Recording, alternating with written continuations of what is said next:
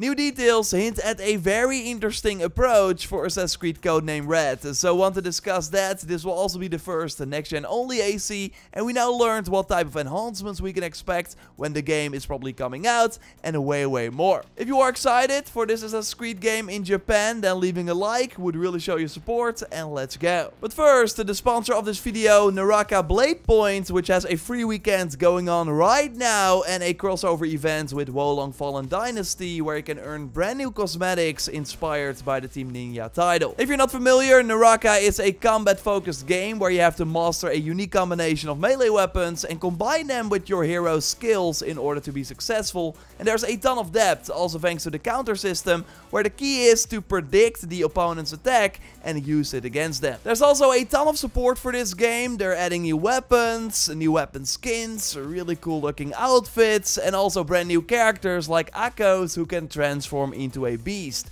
Maps are dynamic with many different arenas, there are traps that you have to look out for or can use to your advantage. Doing this and using all the movement options can really help you out on your road to victory. Again, there's a free weekend going on right now so you can easily try the game. It's also on Xbox Game Pass, so no excuses. Check out Naraka Bladepoint and the special Wo Long crossover event. Find a special link in the video description. Uh, this would really support the channel as well, so thanks for that. And, and now let's get back into it. Let's start with a quick refresh of your memory. Assassin's Creed Red is led by Ubisoft Quebec, who before this worked on Immortals Fenyx Rising and Assassin's Creed Odyssey. So while Mirage will be a smaller, more intimate game like the older titles, Red is going to follow in the footsteps of Origins, Valhalla and Odyssey, so be a massive open world with hundreds of hours of content. I expect a random loot system again, so that you can continuously find gear and weapons that can improve your character instead of only getting them in dedicated chests, making the activities more rewarding as well. And I think the dialogue choices will play a bigger role compared to Valhalla, so more like Odyssey, that main quest, but also side missions can go in multiple directions based on your choices. I already liked seeing the improvements first the base game in the Lost Tales of Greece missions we saw after Odyssey's release, and it evolved even more in the Fate of Atlantis DLC, with even bigger choices, especially in the final episodes of that content. Ubisoft notes that they want to take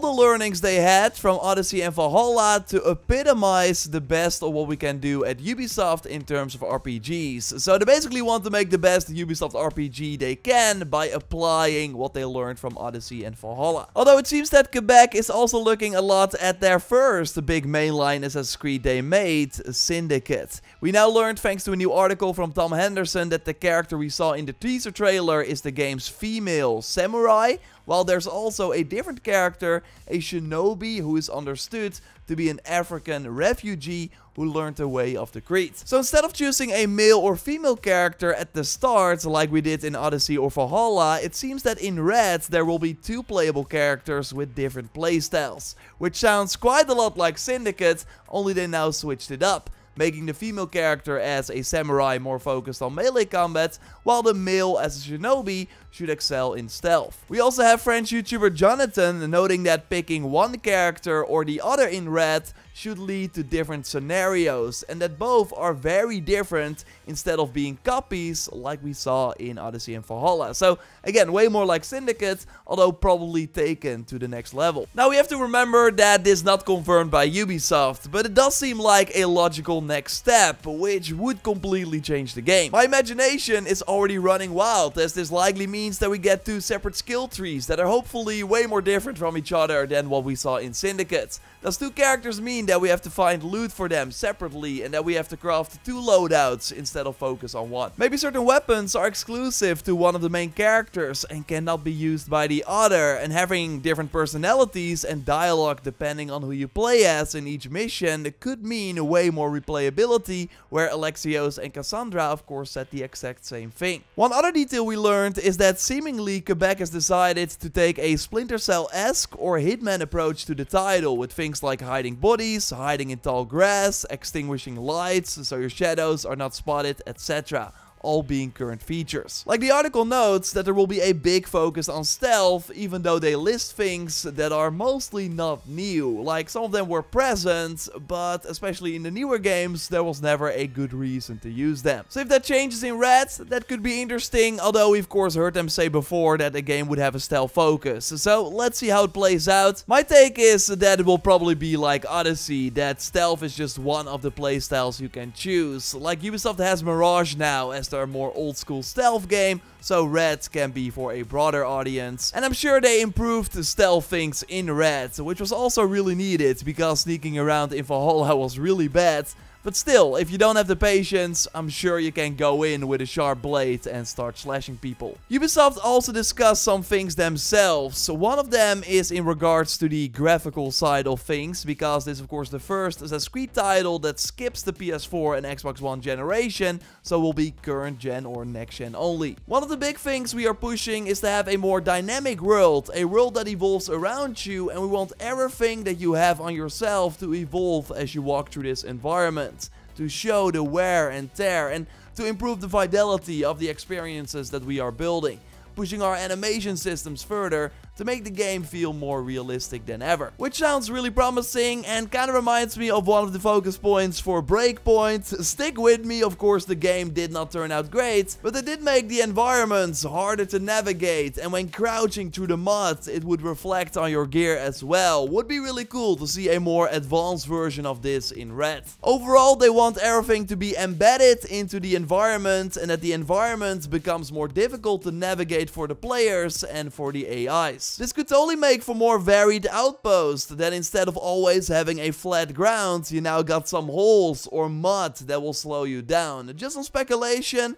but I think it's an interesting way to use the new technology. So you can just imagine it being a very next generation approach to RPGs, at least from a graphical fidelity point of view. And this by the way, according to Marc Alexis Cote, basically the boss of the franchise now, and he also discussed plans for something that I always like with these types of games, the post-launch. Red will be supported for many years with expansions, with growth, with a bunch of things that I will not reveal. Okay, that sounds interesting. Maybe they will bring back the story creator mode from Odyssey or improve that. Like, I still think it had a ton of potential if it was focused more on creating combat encounters instead of story quests. But yeah, we can totally expect a weekly shop again, although fingers crossed that it's someone else than Reda. Like, I've seen his face enough these last couple of years. I also expect way more weekly things to happen, similar but also more than what we saw in Odyssey where of course next to the mercenary or ship we could hunt down for sometimes unique rewards,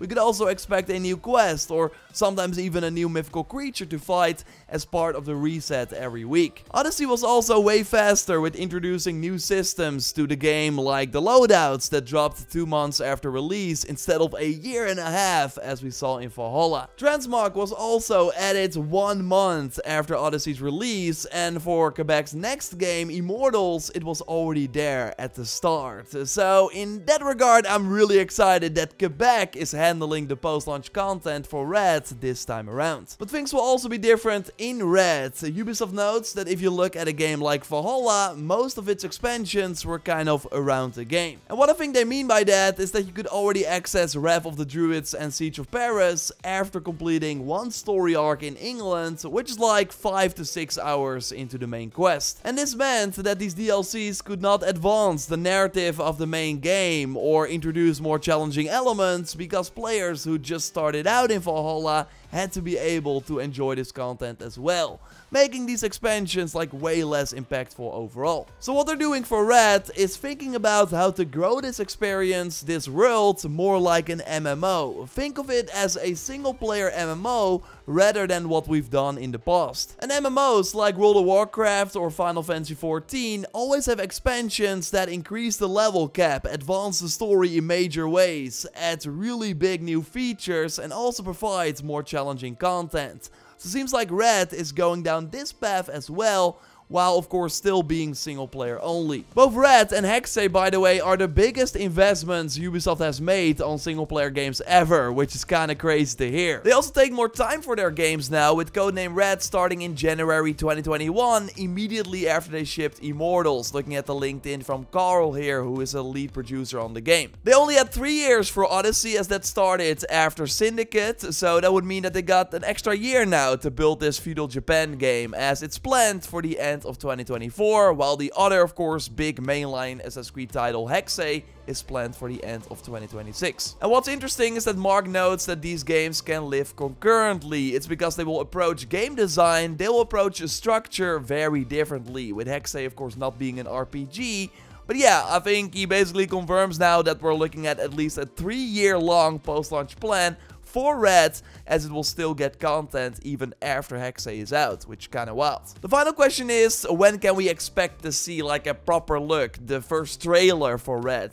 I'm leaning towards spring 2024 myself, unless they plan another Assassin's Creed Showcase this year, which I do not rule out because they got a ton of other things planned as well. This E3 though, in mid-June, will focus on Mirage and the VR game. Having Red there as well would of course take away from those titles, so I don't think they will do that. And it also makes sense to launch these first before they really shift the focus to this Japan RPG. I at least can't wait and we'll keep you posted here, so totally subscribe for everything Assassin's Creed if you haven't already. A like on the video would really help me out. And check out Naraka Bladepoint via the link in the pinned comment. And by the way, extra AC games were leaked recently. If you haven't checked it out yet, you can watch the video by clicking on the screen.